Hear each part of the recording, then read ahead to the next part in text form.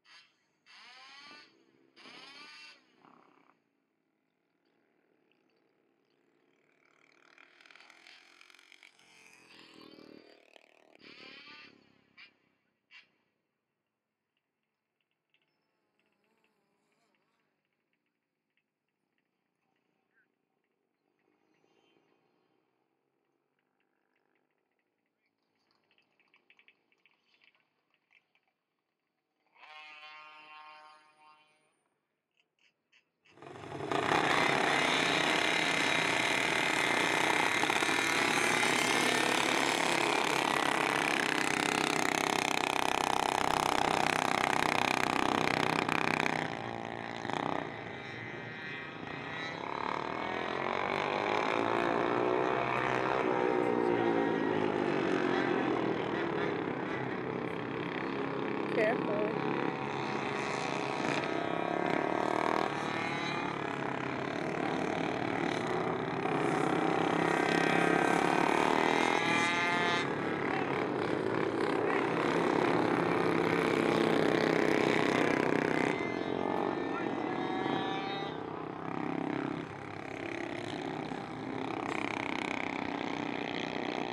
So here we have e-bike versus gas bike.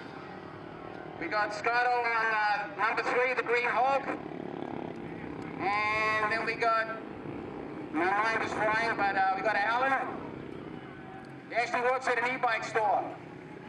He's got some nice moped tires on that thing. He's been practicing.